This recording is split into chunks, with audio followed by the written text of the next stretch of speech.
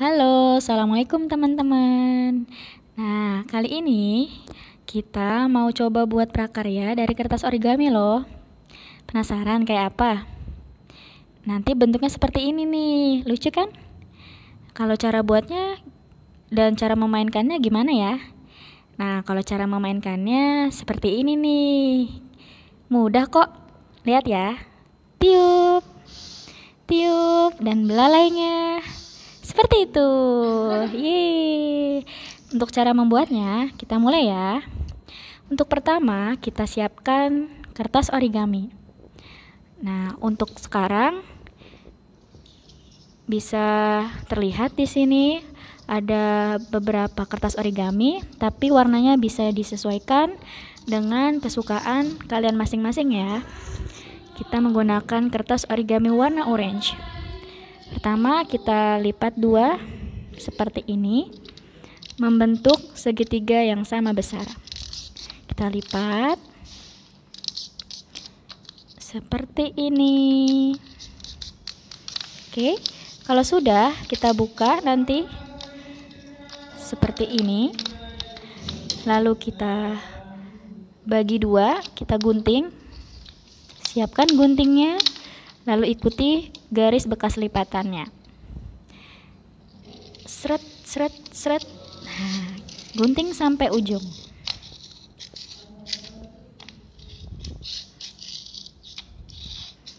Tara, oke. Sudah terbagi menjadi dua bagian. Lalu untuk satu bagiannya bagian paling atas dilipat ke bagian yang putih. Sedikit saja seperti ini Nah, seperti itu. Lalu siapkan sedotannya. Siapkan selotip. Lalu kita tempelkan sedotan di atas kertas origaminya. Oke. Sudah selesai. Seperti ini. Lalu kita siapkan kertas bekas, boleh kertas bekas, boleh kertas baru, itu terserah. Kita gunting kira-kira seperti ini untuk digunakan sebagai belalainya. Tidak usah terlalu lebar, tidak usah terlalu panjang.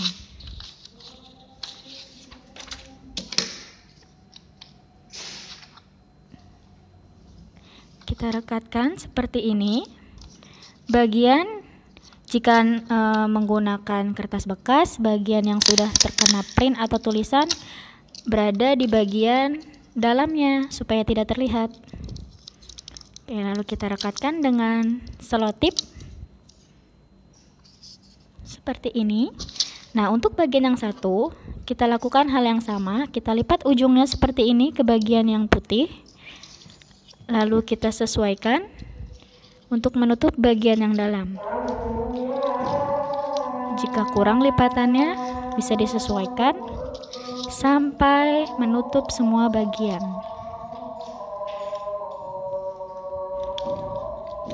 Oke, jika sudah,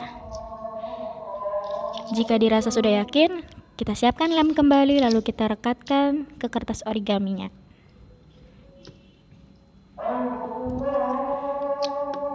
Oke, rekatkan lemnya lalu sebelah sisi yang satunya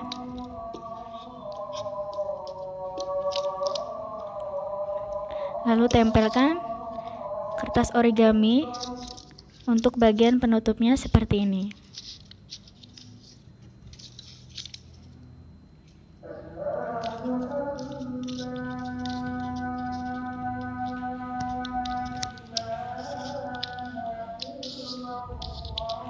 Oke, jika sudah,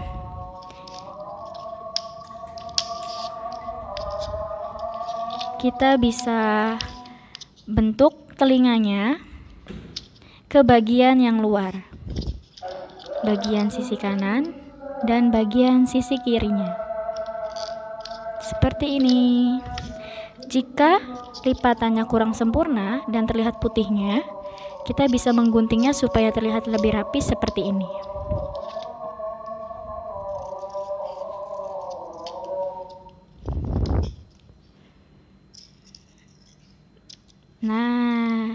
Terlihat lebih rapi kan?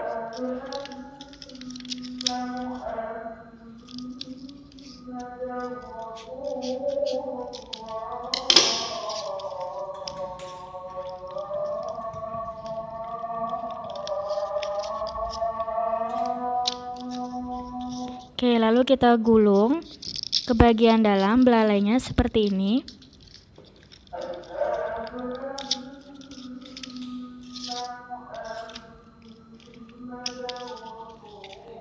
Lalu kita bisa membuat kesan karutan pada belalainya dengan menggunakan pensil warna. Boleh juga menggunakan krayon.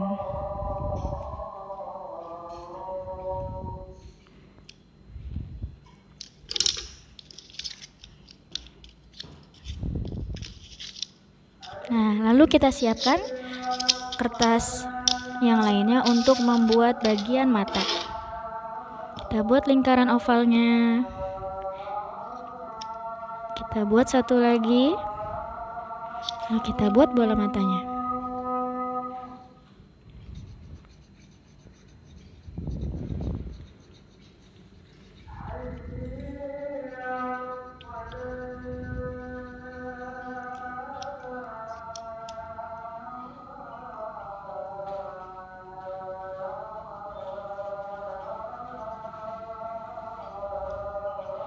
Oke, sudah jadi. Lalu kita gunting.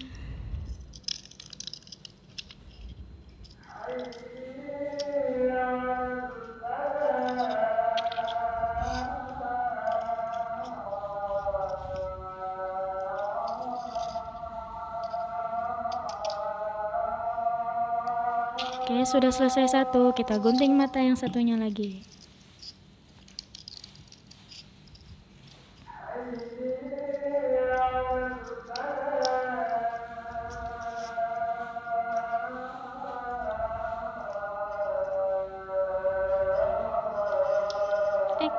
Sudah jadi dua-duanya.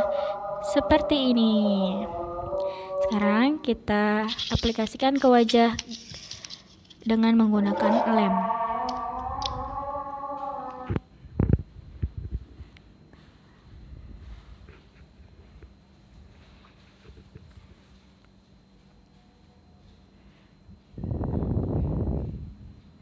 Oke, rekatkan mata yang satunya lagi.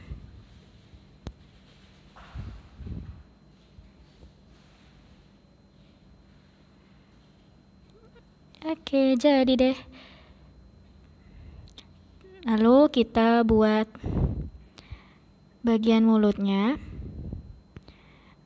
supaya terlihat lebih lucu untuk anak-anak.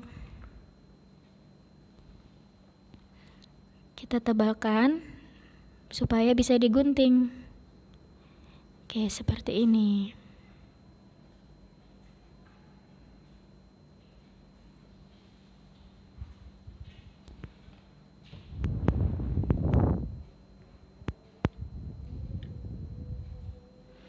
Jika sudah, bisa kita gunting.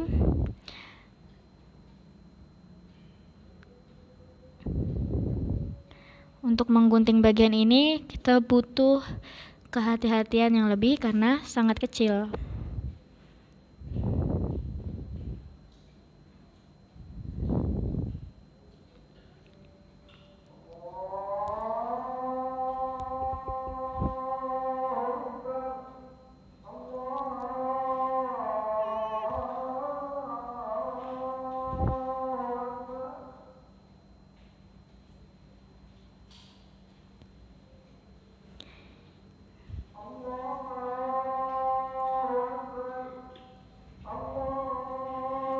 Oke, sudah jadi.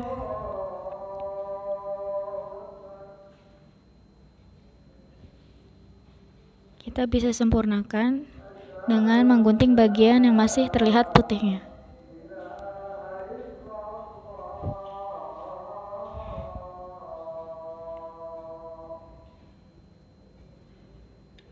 Atau bisa juga kita berikan warna hitamnya supaya bagian putihnya tidak terlihat.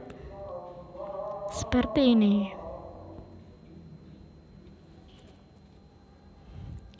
Jika sudah jadi, kita bisa rekatkan dengan menggunakan lem kertas.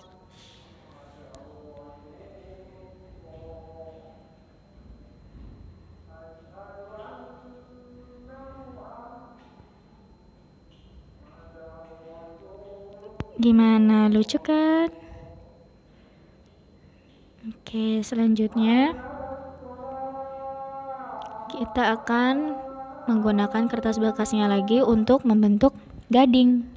Kita lipat menjadi dua bagian, lalu kita gunting membentuk segitiga seperti ini.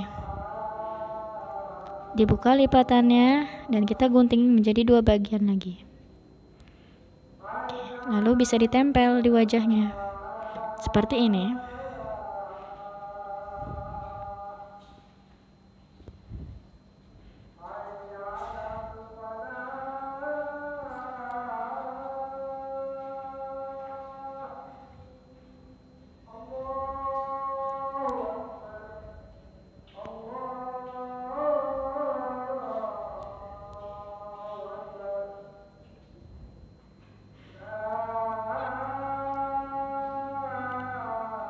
Oke, selesai deh.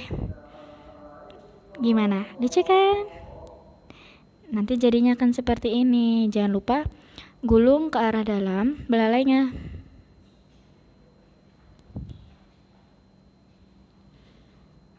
Tara, jadi deh. Bisa kita tiup, kita mainkan. Nah, gimana? Mudah kan? Jangan lupa ya, setelah menonton video ini, subscribe YouTube channel ini.